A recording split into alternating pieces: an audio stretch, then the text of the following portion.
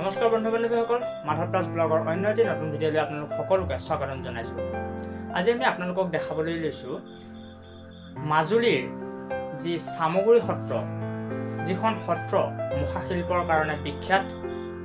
সমগ্ৰ বিশ্বতে যিখন সত্ৰৰ নাম বা মাজুলী বুলি ক'লে যিখিনি মুখাৰ কথা আপোনালোকৰ মনলৈ আহে সেই আমি আজি আপোনালোকক চামগুৰি সত্ৰলৈ লৈ যাবলৈ বিচাৰিছোঁ আৰু আমি আপোনালোকক দেখাবলৈ কাৰণে চেষ্টা কৰিম যে সেই চামগুৰি সত্ৰতে হওক বা যিখিনি মুখা চামগুৰি সত্ৰতে হওক বা বেলেগ ক'ৰবাতে হওক যিখিনি মুখা প্ৰস্তুত কৰা হয় মুখাসমূহ কেনেদৰে প্ৰস্তুত কৰা হয় তাৰ প্ৰক্ৰিয়াসমূহ কি কি আৰু আপোনালোকে যদি সেই মুখা প্ৰস্তুত কৰিবলৈ আপোনালোকে শিকিবলৈ বিচাৰে তেনেহ'লে তাৰ প্ৰশিক্ষণ আপোনালোকে কেনেদৰে ল'ব পাৰিব বা কিমান দিনৰ প্ৰশিক্ষণ ল'লে আপোনালোকে শিকিব পাৰিব আমি সকলোখিনি আপোনালোকক দেখাবলৈ কাৰণে চেষ্টা কৰিম।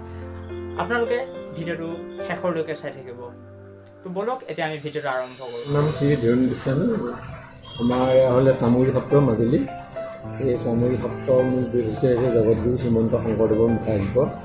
পাঁচ বছৰৰ আগতে গুৰুজনাই মুখাশিল্পটো চিহ্ন যাত্ৰাৰ ভনা যোগেদি এইটো তৈয়াৰ কৰিছিলে। আৰু এইটো এটা পৰম্পৰা তেতিয়াৰ পৰা চলি আহিছে আমাৰ পিতৃ পিতামহসকলৰ দিনৰ পৰা আহোঁতে আহোঁতে দুহেজাৰ তিনি চনত আমাৰ পিতৃয়ে সংগীত নাটক একাডেমী বঁটা লাভ কৰিলে। আৰু সেই তেতিয়াৰ পৰাই মুখাশিল্পটো বিশ্ব দৰবাৰত প্ৰতিষ্ঠা আৰু আমাৰ মুখাশিল্পটো বনোৱা পদ্ধতি মই থুলমূলকৈ কৈছোঁ। প্ৰথমতে আমি বাঁহৰ কাঠিয়ে কৰোঁ কুমাৰ মাটিয়ে কাপোৰ মাৰোঁ তাৰপিছত আকৌ গৰু গোবৰে চেহেৰা বনোৱা আকৌ কুমাৰ মাটিয়ে কাপোৰ মাৰোঁ। তাৰ পাছতে ৰং পাঁচটা পৰ্যায়ৰ এটা মুখা বনাবলৈ গ'লে আৰু এই মুখা আমি তিনিটা ভাগত বনাওঁ যেনে নৰসিংহ ৰঘুৰীয়া যে বৰ মুখা। বৰ মুখা বুলি এইবিলাক বৰ মুখা বুলি কয়। এইবোৰ বৰ মুখা। বৰ মুখা। উম, তাৰপৰা এয়া হ'ল লটকাই মুখা নৰসিংহই। হয়। লটকাই মুখা মানে লটকাই তাৰপৰা এইবিলাক হ'ল মুখ মুখা। কি মুখা মুখ। মুখা অঁ অঁ মুখ মুখা এইবিলাক আমি যেতিয়া ভাওনা কৰোঁ আমি তেতিয়া পিন্ধি লওঁ এই মুখাবিলাক। সৰুভোগ মুখ মুখা বুলি কয় ন? মুখ মুখা বুলি কয়। হয় এইবোৰ আপোনালোকে বিক্ৰী কৰেনে নে মানে এনেই ভাড়ালৈ দিয়ে? ভাড়ালৈ হয় হয় আৰু ইয়াৰ প্ৰশিক্ষণো দিয়া হয় ন? প্ৰশিক্ষণো দিয়ে। আমাৰ সংগীত কলা কেন্দ্ৰ এটা অনুষ্ঠান আছে। হয়।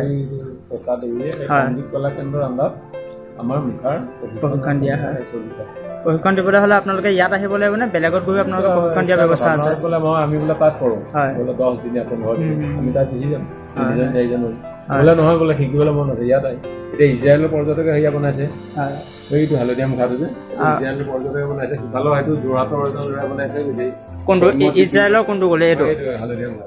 এইটো সৌম্যদ্বীপ বুলি যোৰহাটৰ ল'ৰা এজনে বনাইছে। এইটো ন? হয়। আমাৰ তলৰ সেইটো মুখা বনাইছে নগাঁৱৰ এজন ভাস্কৰ বৰা বুলি। এই ভাগ ন। তেওঁলোকে আহি ইয়াতে শিকি তেওঁলোকে বনাইছে অঁ ইয়াতে মানে প্ৰশিক্ষণ লোৱা ন। হয় হয়। ঠিক আছে দিয়ক। তো বন্ধুসকল আপোনালোকে শুনিবলৈ পালে যে এখন মুখা বনাবলৈ কাৰণে তেওঁলোকে কিমান কষ্ট কৰিব লগা হয়। আৰু আমি আপোনালোকক এতিয়া এইখিনি দেখিছে আপোনালোকে চামগুৰি সত্ৰত বিভিন্ন ধৰণৰ আপোনালোকে এয়া বৰ- কুৰ্ম অৱতাৰ তেনেকৈ ধৰণে এয়া নৰসিংহ অৱতাৰ বিভিন্ন ধৰণৰ মুখা ইয়াতে আপোনালোকে দেখিবলৈ পাব। আপোনালোকে ইয়াত যদি আহে চামগুৰি যি ইয়াত যদি সত্ৰত আপোনালোকে আহে তেনেহ'লে আপোনালোকে চাব পাৰিব ইয়াৰ যিসমূহ মুখা শিল্প যথেষ্ট উন্নত আৰু মানে যথেষ্ট মনোমোহা। আপোনালোকে আহি পিনি নিজে ইয়াতে চাব পাৰিব। আৰু সঁচাকৈ ই অতি আকৰ্ষণীয়। যি মুখাই বৰ্তমান বিশ্বৰ দৰবাৰত স্বীকৃতি লাভ কৰিবলৈ সক্ষম হৈছে। সেই ধৰণৰ মুখা আপোনালোকে বৰ্তমান সময়ত অসমৰ বিভিন্ন প্ৰান্তত দেখিবলৈ পোৱা যায় যদিও কিন্তু ইয়াৰ যি মাজুলীৰ যি চামগুৰি সত্ৰ বুলি কয় চামগুৰি সত্ৰ দুখন সৰু সত্ৰ আৰু চামগুৰি বৰ সত্ৰ বুলি দুখন সত্ৰ আছে। এই দুয়োখন সত্ৰতে আপোনালোকে যিখিনি মুখা দেখিবলৈ পাব ই সঁচাকৈ অতি সুনিপুণ আহ, ভাৱে প্ৰস্তুত কৰি উলিওৱা আৰু অতি আটকধুনীয়া। গতিকে আপোনালোক আহক আৰু এই চামগুৰি সত্ৰৰ মুখা আপোনালোকে দৰ্শন কৰক।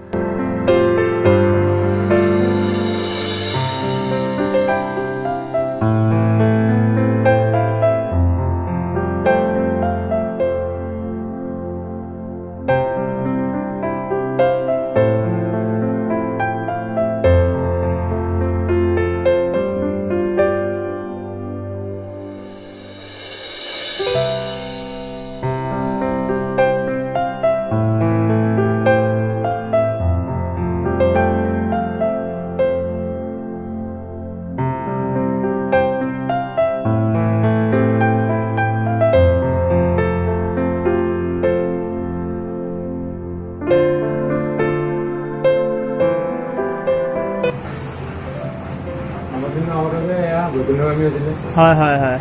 অঁ নাৰায়ণ চন্দ্ৰদেৱ গোস্বামী হয়। শুনিছিলোঁ কথাটো। হয় হয়। এয়া নাৰায়ণ চন্দ্ৰদেৱ গোস্বামী। হয় কোনজন? হয় হয় হয়।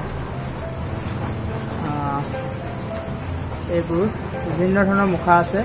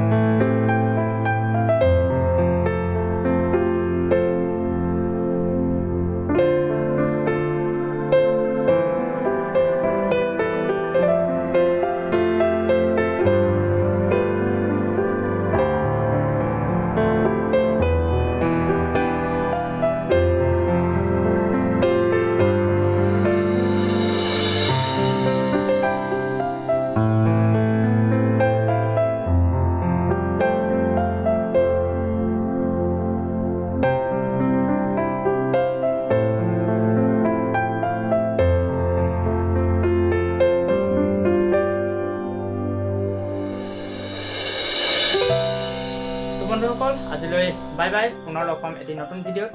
এনেধৰণৰ তথ্যমূলক ভিডিঅ'সমূহ চাই থাকিবৰ কাৰণে আপোনালোকে মোৰ চেনেলটোৰ সৈতে জড়িত হৈ থাকিব। আৰু এতিয়ালৈকে যদি মোৰ চেনেলটো ছাবস্ক্ৰাইব কৰা নাই তেনেহ'লে প্লিজ চেনেলটো ছাবস্ক্ৰাইব কৰি দিব। আৰু যদি ভিডিঅ'টো আপোনালোকৰ ভাল লাগিলে তেনেহ'লে লাইক কমেণ্ট আৰু শ্বেয়াৰ কৰি দিবলৈ নাপাহৰিব